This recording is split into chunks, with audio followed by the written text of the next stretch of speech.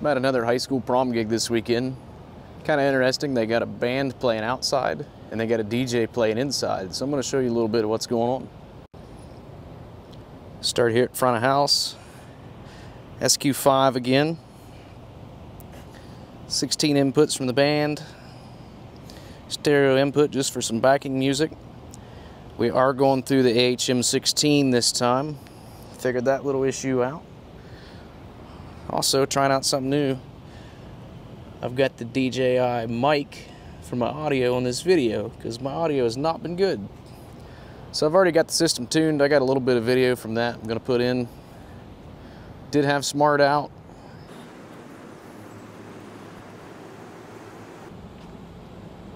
QSC K12s for the tops. Got a EV ZLX12 for a front fill. Got my two ETX 18s out. It's kind of funny looking. There's no level spot here. And you probably can't tell from the video, but this is a pretty good little hill.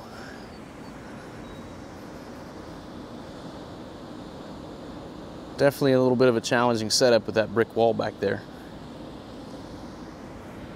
Let me give you a little tour of what the band's got. K12s, par lights.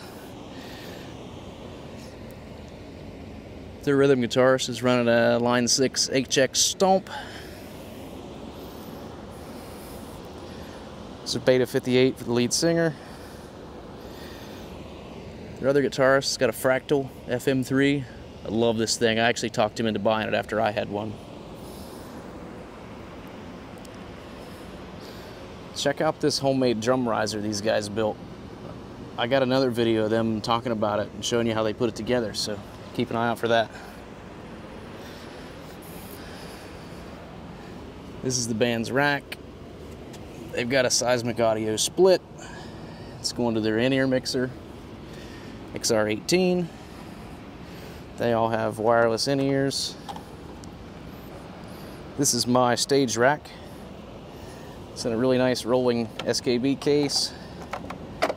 AHM16 is doing all my system processing. This is just a patch panel I made for it. So I got left, right, main, sub, my front fill. And then I got the AR2412 for my IO, the SQ5. 16 inputs. These outputs are just being analog patched into the AHM16. Now, I do have the SQ card to put in the AHM16, so I'm going to make a video about that. This is the back. I got PowerCon coming in. Everything's wired up nicely and bundled. I want to get some blank vented panels for this. Get it closed up. I got a router that lives in my stage rack. And I've got a wireless bridge that goes to front of house with another router up there. So that way I'm only running one, one ethernet between front of house and the stage rack. So power, power is super interesting here and it's only slightly sketchy. There is, I'll show you here. There is zero places for me to get power outside of this building. So I had to run. We've got one extension cord here. There's my spare. All the way in here.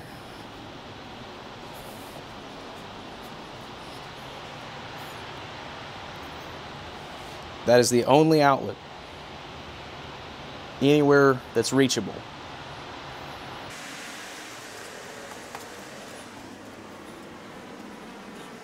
And if you go all the way over here,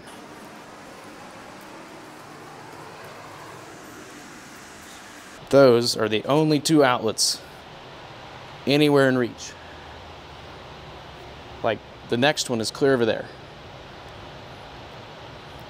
So, we have 30 amps max. Band, lights, PA, subs, mains, that's it. Good thing is, is I have these really heavy 10 gauge extension cords that are long, so I'm not worried about heating the cords up. The ETXs are super efficient. They're like four amp draw max each. I've only got two of them. K12s aren't that much. The band's not run any actual amps on stage. They're all in modelers. So I'm not super worried about power here.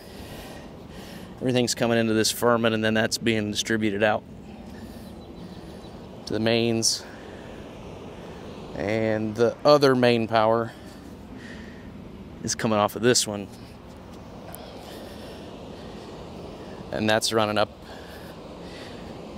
It's just to this center Furman. These are pretty cool. These are just the normal little Furman boxes you can buy. And I actually cut the cords off, put them on PowerCons so they can be a little bit more flexible. Yes, I know. I have to get a strap on that before the show starts. So I'm actually not gonna be here for the show tonight. This is not my full-time job and I have to go to work. So basically what I did is I just gave the front of house guy a nice flat system to mix into. A little bump on the low end and I did it all on the processor. So if he wants to add any kind of EQ, the board main outs are totally flat. He's got all the room to do anything he wants. So I'm gonna take you guys inside the other gym here and show you the DJ setup.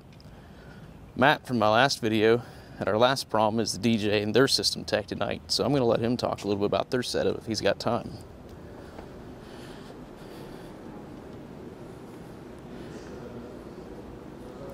They've got the video wall out. Looks super nice. So here we are at Parkersburg South High School.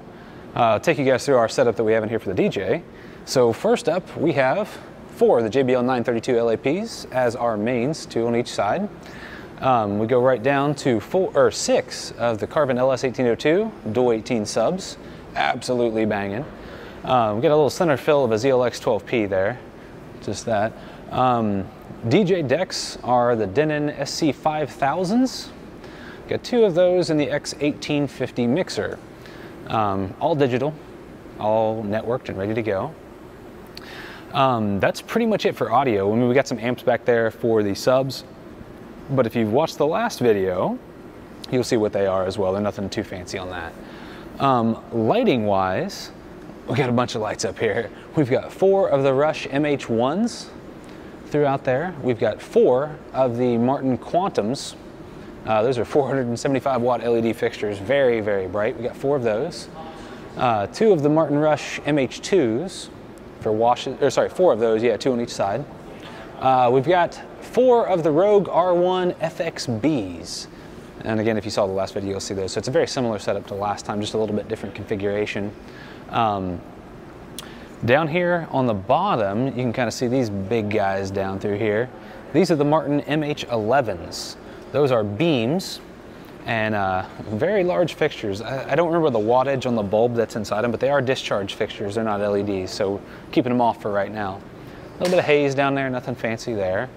Um, and then obviously the big thing in the back there, as you can kind of see, that is the uh, Chauvet